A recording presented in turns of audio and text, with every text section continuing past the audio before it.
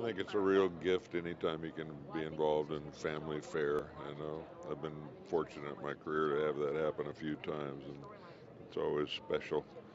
I've never worked for Pixar before, but I'm truly flattered and honored that I had an opportunity. You know. You know, we make these things for people. We make them for the audience. We make them to be, you know, entertainment. So it's it, it's always great to not see it. I think with a loaded audience, meaning people that were either involved with the film or people that are in the industry. Not that there's not going to be a few of those amongst us tonight, but you know, seeing them with the public is really the way to see them. It's it's.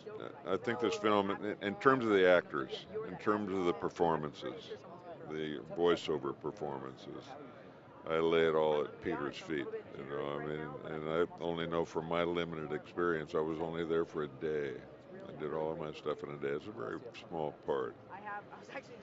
But Peter was so engaging, so specific in what he wanted, so much like a little kid, and so much a storyteller that, you know, I mean, it was very easy and a real pleasure to, you know, give him what he wanted.